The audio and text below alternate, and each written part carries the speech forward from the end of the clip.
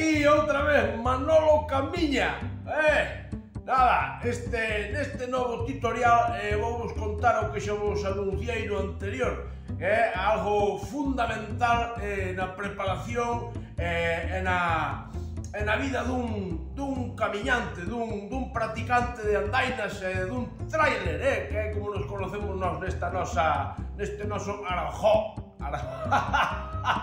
Arajó. Arajó. La, la, la, la, la, bueno, pois é moi importante, é fundamental para preparar unha boa andaina é a alimentación, vale?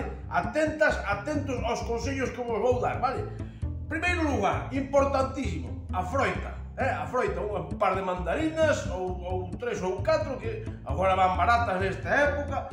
É moi importante tamén os froitos secos, as noces, é importantísimas os froitos secos. O que pasa que o froito seco así é moi seco, xa o propio nome lo di, é moi seco, entonces hai que arrimar así algo de... Bueno, pois pues eso, algo de, de, de, do fruto da uva, eh? do fruto da uva, vale? É fundamental. Ah, tamén, moi importante as uvas pasas, vale? Uvas pasas tamén, que sei que dan moita, moita forza, dan moita, bueno, moita enerxía, teñen eh, vitamina eh, R, sei. eh, eh pois tamén moi importante estes produtos produtos novos que hai hoxe en día modernos, non? Que son as os que lle chaman as barritas energéticas. Barrita energética, vale? Entendes? a barrita energética eh, que podedes encontrar por aí en calquera tenda de, de, de produtos deportivos e depois está a barrita energética que é a que, a, a que máis energía me dá a mí espeté, espeté. Eu dixo outro cando fui dar parto seguro, espeté.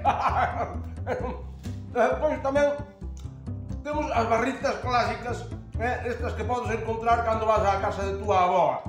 ¿eh? que sabes μου τη δει, λέβα, ο πόκου το ρίδο, ναι, νο.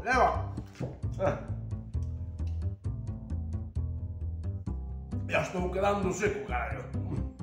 Bueno, é fundamental, vale? Eh, non olvides o que me dijo Froita, tamén unhas uviñas, vale? Estas ainda me sobraron do día de, de fin de ano, vale? Tan, tan como estaban o primeiro día. non se tocaron. E, eh, depois é moi importante completar a alimentación con productos da casa. ¿Vale? Productos da casa. Así vamos llenando. Xa veredes, vos sacades sacades isto na andaina e digo o seu que non se vos, non se vos aparta ninguén. Vai todo Dios con vos. Carallo, maravilla isto, eh? Maravilla. Paleta ibérica, da boa, da boa. A ver, continuamos tamén, se lle queredes arrimar algo de queixo, tamén está ben. A ver, fundamental, fundamental tamén na parte de comer hai que beber ben, vale? Xo dixo xo dixo Maciel, hai que beber ben, vale? Entonces é importante que levedes pois o que é hidratación, hidratación da boa, hai xente que leva que leva eh, isto que lle chaman os, os geles, geles Eu me falta virgen, pero eu gel normalmente uso cando acabo de andar ou de correr. Eh, na ducha, pero bueno, hai xente que o manda cando cando quere. Así que cada un que faja como lle sala da caralla. Eu mando yo despois. Eh, e bueno, importante xa vos digo, a hidratación. Ah, Estou moi ben, Isto seguramente ali na, na Carballeira non lo dean. No, pero iso ides ali a de Nieto. de Nieto desto ten hidratación desta ten toda que queirades. E despois, eh, despois de, de, do pilliño, pois pues, tamén lle mandamos aí un, pois, un isto xa é hidratación para, para deportistas, pero isto é para pros, vale? Para pros, ah, temos isto tamén, temos o, O Torres, o Torres 10, eh, que me recorda ese chiste.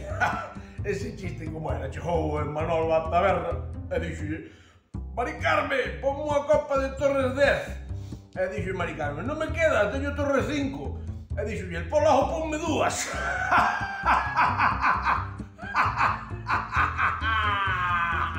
bueno, amigos, pois isto é un pouquiño a eh, o que é o tema da alimentación e da hidratación fundamentales, eh? fundamentales.